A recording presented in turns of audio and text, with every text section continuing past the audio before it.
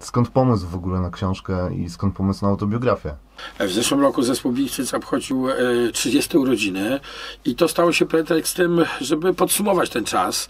E, wiele się działo, wiele przygód, wiele tras koncertowych, e, także no, moja solowa kariera, czyli programy telewizyjne, różne imprezy, które prowadziłem.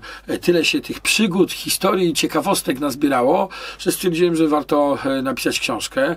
A mm, w zasadzie na ten pomysł wpadł Kuba Jabłonka i Paweł Łęczuk, goście, którzy wcześniej napisali biografię Piotra Bukartyka. E, sprytnie mi tę biografię podesłali, słynnego autora pieśni, ballad.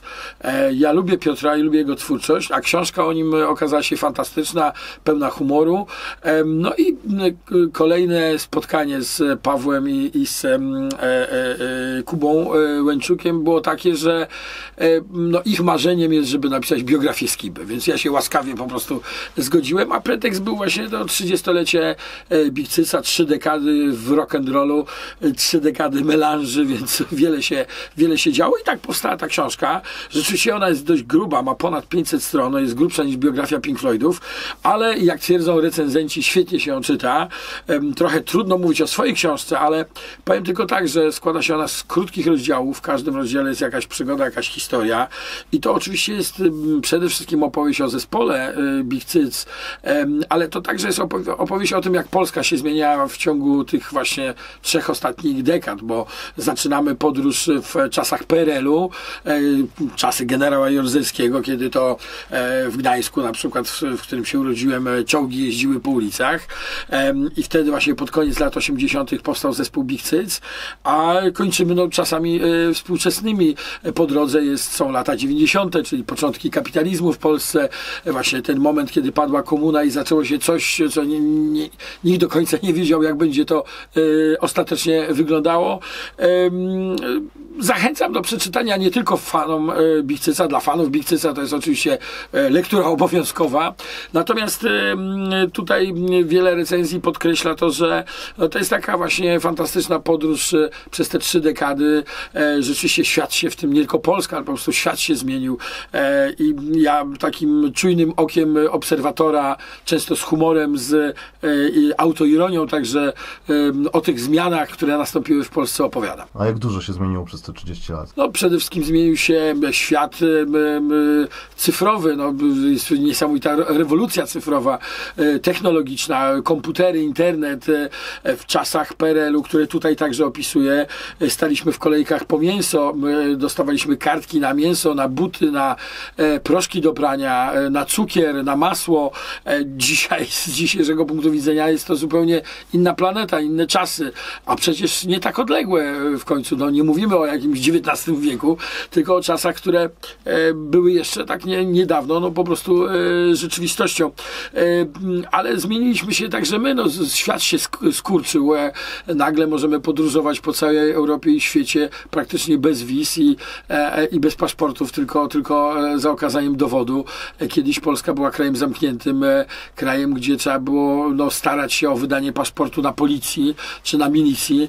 E, ja zresztą w czasach komunizmu no, dość ostro z tym systemem e, walczyłem, organizowałem różne happeningi, biegałem z tabliczką galopująca inflacja po ulicy i mnie milicja zatrzymywała i wydawaliśmy oświadczenie, że milicja zatrzymała galopującą inflację.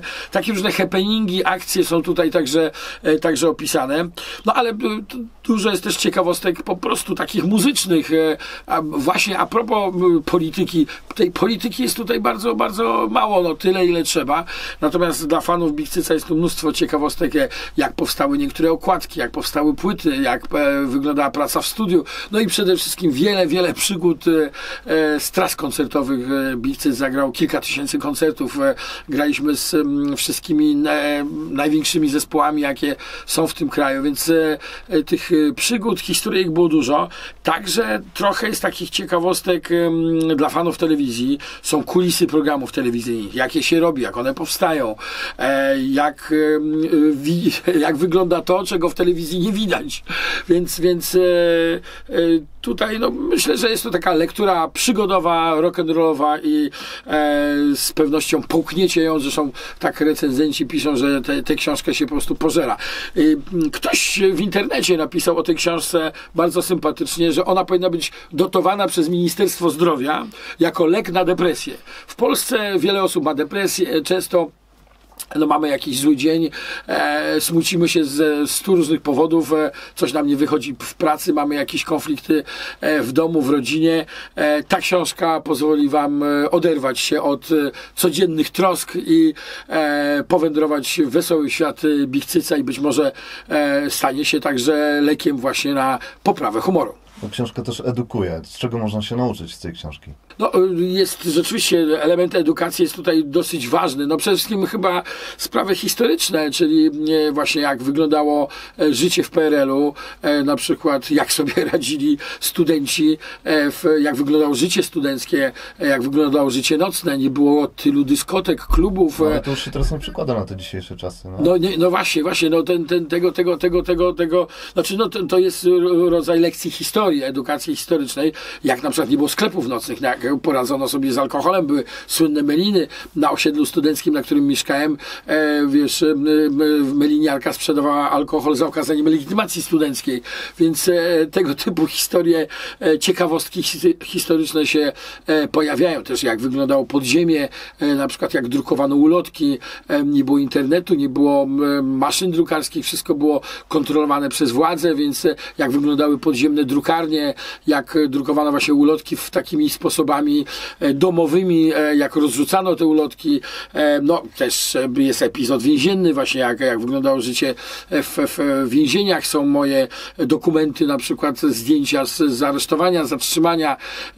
Takie historie, które no, dzisiaj nie, nie mają miejsca i które no, są, myślę, te, te, te ciekawostki z czasów PRL-u, także pewną taką wiedzą na temat tego, że o nie zawsze było miło i sympatycznie, nie zawsze było wspaniale, nie zawsze mieliśmy 100 e, kanałów w telewizji, 500 rodzajów sklepów, które możemy sobie e, wybrać i po prostu za poglądy szło się e, do więzienia. Jesteśmy na targach książki. Czy oprócz tego, że napisałeś książkę, czytasz też książki? Staram się czytać bardzo dużo książek, mam swoich ulubionych autorów, ale też korzystam, nie jestem w stanie przyznać wszystkich dobrych książek, ale staram się korzystać z takiej koleżeńskiej pomocy ludzi, którzy też czytają. I na przykład my w Bichcycu, może wydać się to komuś niewiarygodne, ale tak właśnie jest. No, na przykład polecamy sobie autorów, że na przykład czytałem książkę takiego i takiego autora i koniecznie musicie ją e, przeczytać.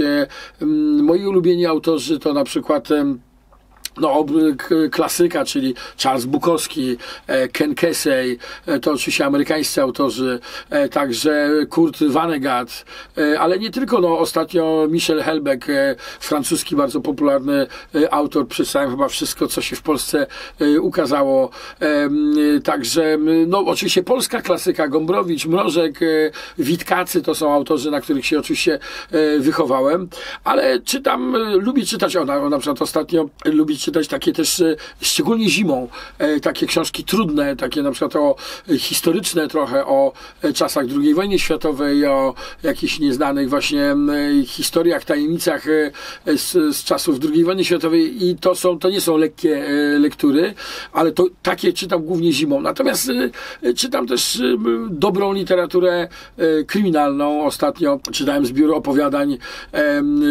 takiego niemieckiego autora, także książki książkę y, Jeffrey'a Archera e, z biuro opowiadań.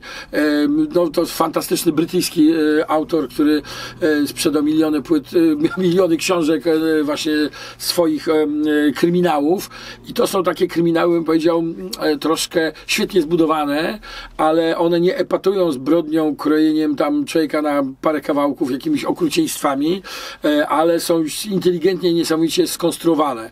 Więc lubię też książki książki, które mnie po prostu e, zaskakują, które em, powodują, że, że uruchamia się wyobraźnia. E, To jest chyba właśnie w książkach najważniejsze, że cenimy autorów, którzy świetnie potrafią nas e, oprowadzać po swoim świecie, którzy świetnie potrafią e, opowiadać, wciągnąć nas e, w swoją historię i to jest niesamowite. Książki warto czytać, e, książki rozwijają wyobraźnię, e, książki powodują, że stajemy się wrażliwsi, ale książki powodują też, że stajemy się bardziej inteligentni, wiemy coś o świecie, e, książki uczą nas e, dobrego języka, e, często po prostu dowiadujemy się wielu fantastycznych historii o świecie, o, o, o tym, co nas otacza, ale także o ludziach.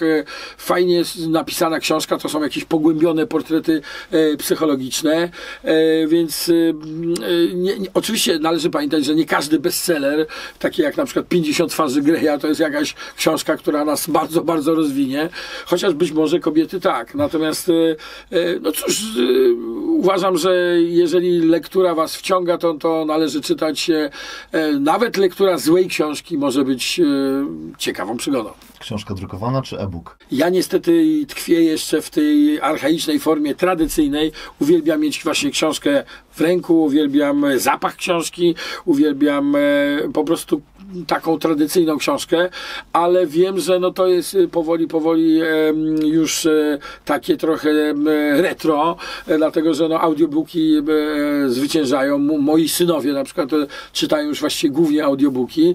Z bardzo prostego względu audiobooki są poręczne, tak? W jednym tablecie mamy, możemy mieć e, kilkadziesiąt książek i jadąc na wakacje nie musimy, nie musimy takiego dużego bagażu brać, więc jak zawsze pewnie z czasem, z czasem wygra po prostu wygoda i praktyczne podejście do tematu.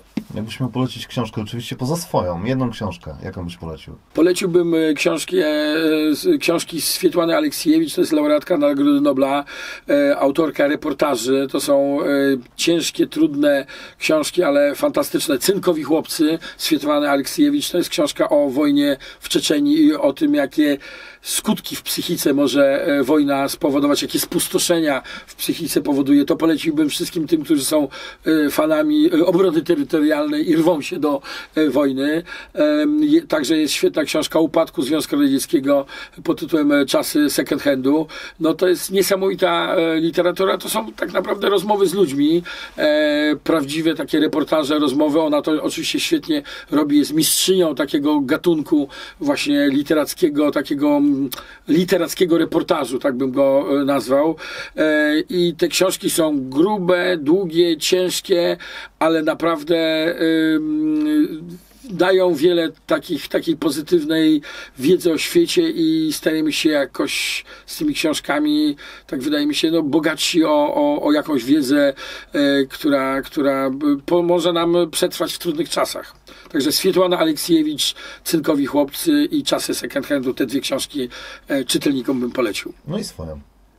A, no moją, moją książkę Skiba ciągle na wolności, autobiografia Ubuza, to jest oczywiście o wiele lżejsza literatura, bardziej rock'n'rollowa, przygodowa, wesoła, tak jak powiedziałem, jest to świetny e, analgetyk, czyli ból, zwa, e, e, znaczy, czyli środek do zwalczania bólu, o, e, analgetyk tak, tak na tym polega, e, a to jest taki rodzaj literackiego analgetyku, e, na pewno po przeczytaniu tej książki, książki poczujecie się lżej, lepiej i weselej. Gdzie można ją kupić? Książkę można kupić we wszystkich dobrych księgarniach. Ona jest w salonach Empiku, jest w, salonach Matras, e, jest e, w małych, dużych księgarniach. E, To jest w sumie książka, która się niedawno ukazała, niecałe tam 10 miesięcy temu, więc jest na pewno już nie leży na nowościach, ale sprawdzam co jakiś czas, jest na dziale biografie. Tak więc leżę w dobrym towarzystwie obok nie wiem, Jerzego Sztura, obok biografii aktorów, artystów. Tam poszukać. Bok jest czytelny, Skiba, Skiba ciągle na wolności. Polecam serdecznie.